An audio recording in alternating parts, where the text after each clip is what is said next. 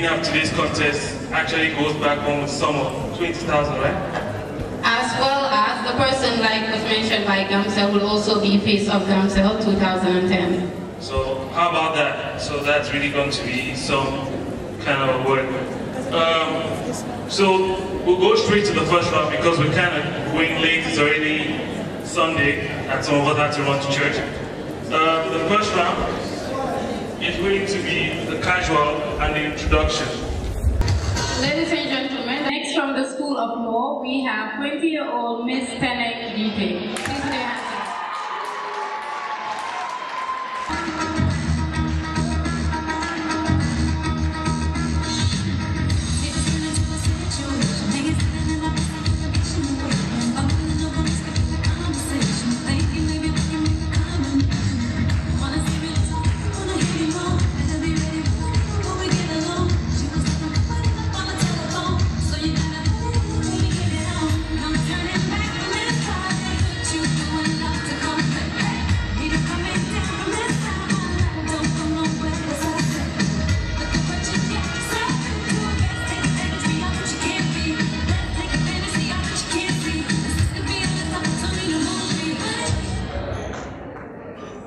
Her outfit is a product of Ziza and her hairdo MJ Salon.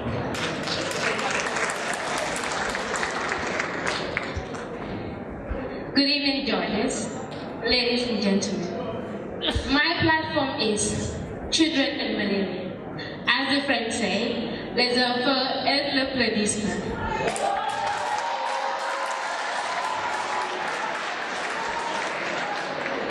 Malaria is a mosquito-borne disease infection caused by an abiotic protogenous plasmodium and transmitted by the female Anopheles mosquito. Malaria accounts for one out of five of all childhood deaths.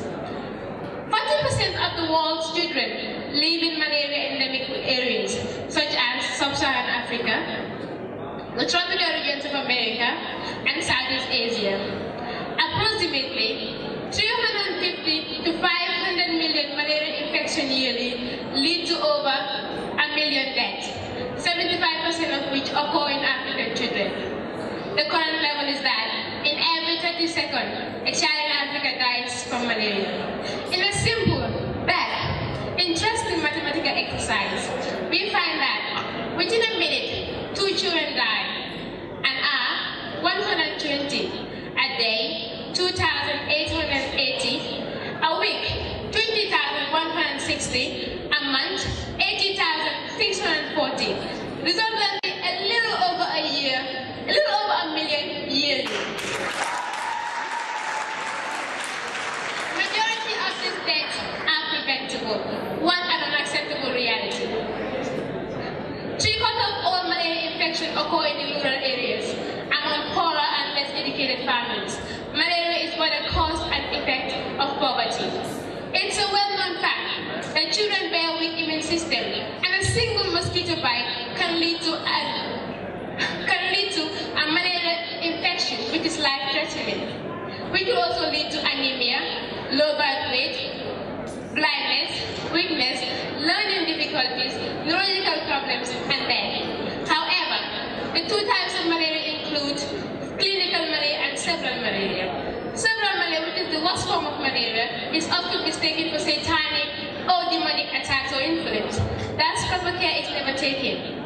All malaria, all signs and symptoms of malaria should be reported to the nearest medical centers.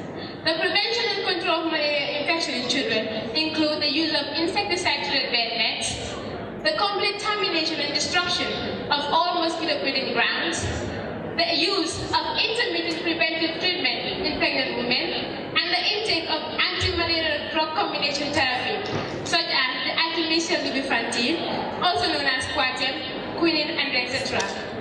The challenge is up to us, who have luckily and successfully escaped this, the long arms of this repugnant plague, to save today's children and those yet unborn. If I'm to be the ambassador of UTG 2010, with the help of the government, the Ministry of Health and Social Welfare, malaria control, private NGOs, and even private individuals, I will ensure a free nationwide distribution of insecticide mosquito nets to every child in every home, increase access to intermittent preventive treatment, and increase the availability of anti-malaria drug combination therapy. This, I believe,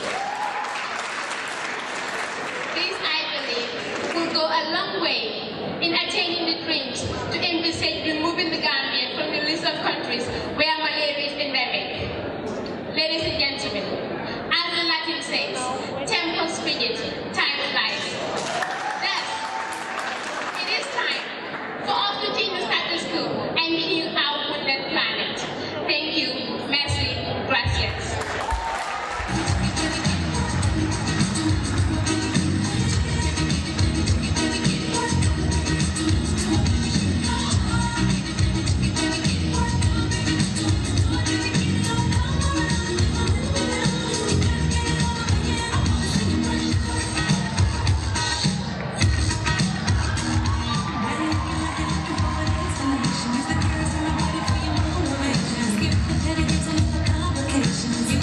Thank you.